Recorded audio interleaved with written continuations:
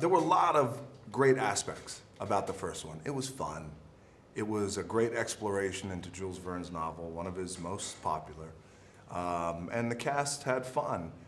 When the studio came to me about wanting to reboot the franchise, wanting me to star in it, well, then it takes a different kind of shift and a different type of turn. Um, I'm a different actor than Brendan. We are different men. We approach things differently. We react differently. He has a certain style.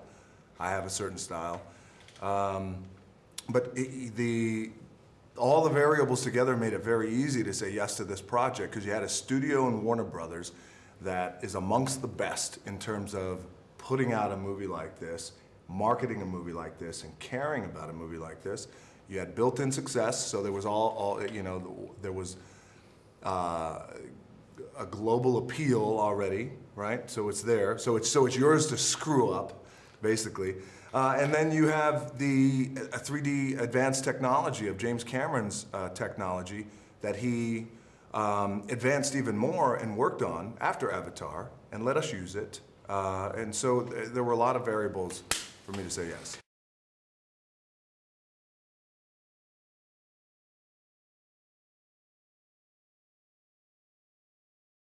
I thought it was critical. I mean, with a movie like this, where it, when you use the word uh, action, that's different.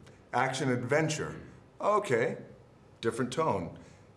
Epic action adventure, it means scope, and size, and wide lenses, and you want to see the beauty of what you're talking about, what makes it so epic. So there's no place better than, um, for us at that time, Hawaii where you see the, the land, the mountains, the greenery, the lushness, the rainforest. So it was critical. And, but you see that texture in the movie where audiences watch it and they know it's not a green screen, it's not computer generated, this is a real deal. We're here. This is our version of the mysterious island. It lends itself to one's imagination.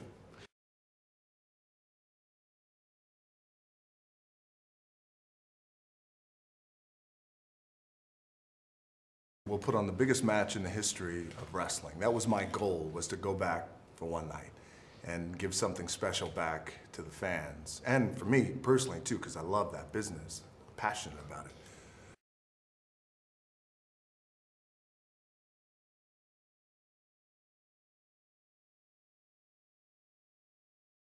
Me and Hollywood are married now. We were dating for a little while.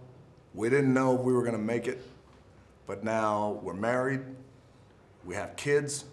For the next 10 years, uh, 20 years, I'll have start having grandkids with Hollywood, but me and Hollywood are, are together. We're together like this.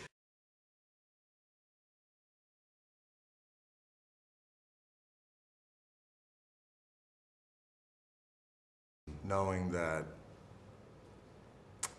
my movies make people happy. That's the biggest satisfaction I mean that. It's bigger than any paycheck. Uh, I was very lucky that I came into Hollywood. Um, I had a little bit of money in my pocket, so money wasn't uh, influen uh, influential in any way in my decisions. So, no, making people happy.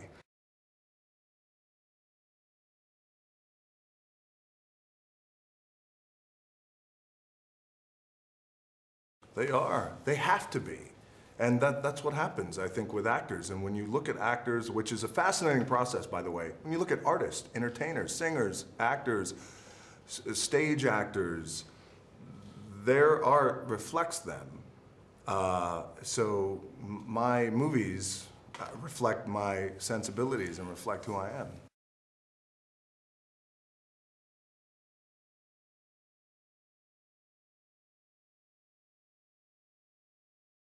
I protect my privacy and I protect, uh, I protect my family from it.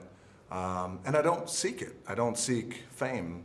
I don't seek uh, paparazzi. I don't need that. I don't need, I don't need to call paparazzi ahead of time and tell them I'm going to be at a certain restaurant or I'm going to be at the airport or anything like that. I, I don't, I don't need it. and how do I deal with fame? That's easy. Um, I was 25 years old, nobody knew who I was, and I had seven bucks in my pocket. Now, the alternate, the alternative to me being famous would be that. So I've got no problem being famous.